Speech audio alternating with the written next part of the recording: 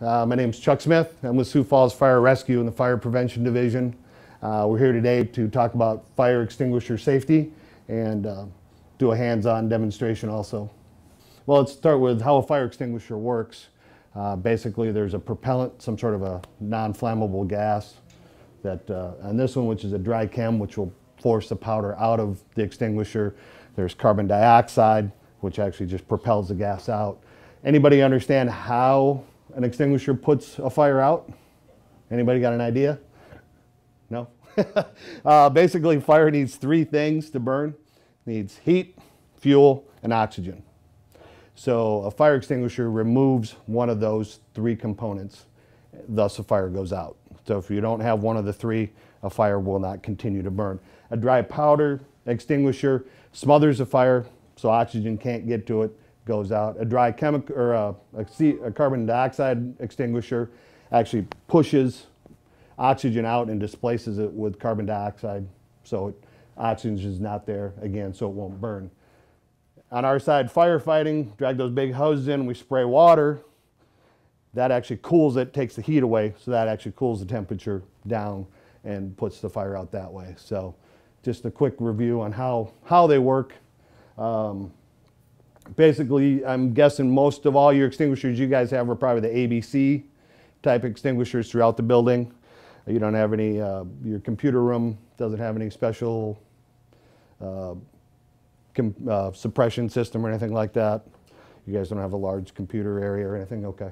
Um, as far as that goes, different types of, uh, uh, the basic different types, we talk about A, B, and C. Uh, A stands for ordinary combustibles, paper, wood, cardboard, things like that, that'll burn. Um, B fires are, are flammable liquids, gasolines, that type of stuff, cooking oils and uh, C is electrical.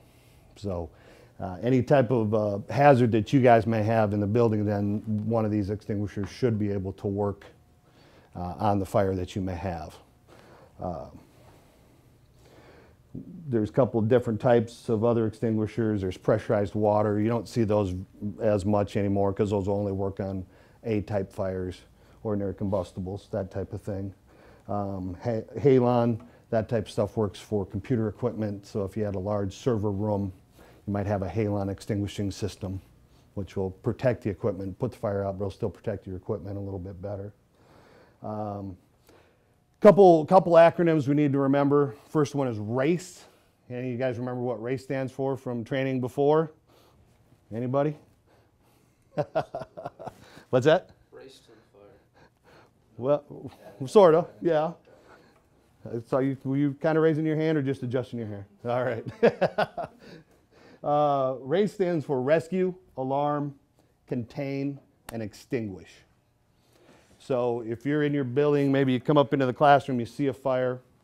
Um, our obviously rescue is get anybody out who may be in the room. Alarm, have somebody call 911. Contain, use fire extinguisher to try and contain the fire.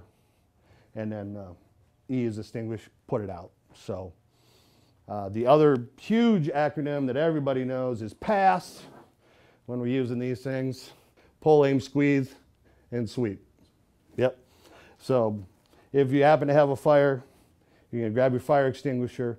The biggest thing to remember is in, in the rescue part of it, if you come in, you find the fire, you get people out, you have, hey, call 911, you come back in and you go, you know what, I don't think this is going to work. Get out. I mean, you don't have to put the fire out in, in that instance. Just get everybody out of the building and that. Um, it's, it's up to you whether you feel that you, you can safely try and extinguish the fire with the extinguisher you have, or maybe have a couple of extinguishers to try and do it. If not, I mean, that's why we dial 911. The guys in the big red truck show up and, and put the fire out. So, um, but if you do feel that you can, not small enough, I got this extinguisher, I think I can do it. You'll come in, pull the pin. Always going to aim at the base of the fire, squeeze the trigger, and then sweep back and forth. Don't shoot it up towards the flames because that won't, remember we're trying to get it down on the base of the fire so we can reduce the oxygen so the fire will go out. If you're shooting it up high, that powder isn't going to be able to cake down on the fire itself and put the fire out.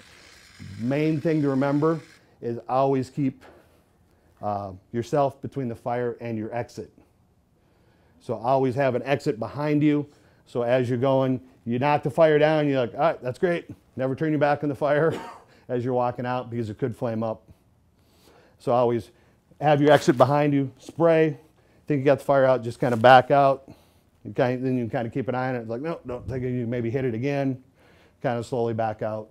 So always have your exit to your back where you're able to walk out, be able to back out away from the fire in case you can't get it out and you're like, well, this is done, didn't do any good. You have an escape route. So